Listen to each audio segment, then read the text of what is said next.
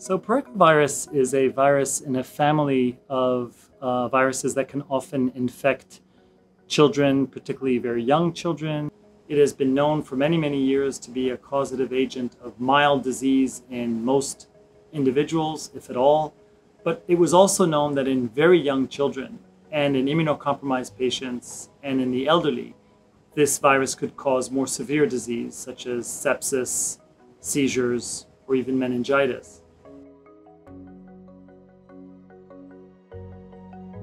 In general, what parents should be thinking about, particularly with very young children, is if they find that there is a fever, if the child is not behaving normally, not eating well or drinking well, or having even some periods where they feel that the child is very lethargic, those are some warning signs that should prompt the parent to contact a, their healthcare provider to see if more needs to be done.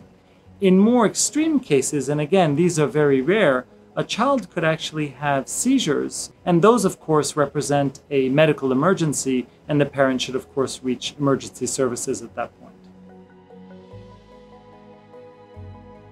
This virus is transmitted primarily through physical contact. For this reason, a measure that parents can take with who have very young children is to basically practice very good hand hygiene themselves also ask that anybody who is going to be in contact with a child, with their child, use good hand hygiene, and also to a certain extent limit the number of people who will be exposed to a very young child uh, for the first few weeks of that child's life.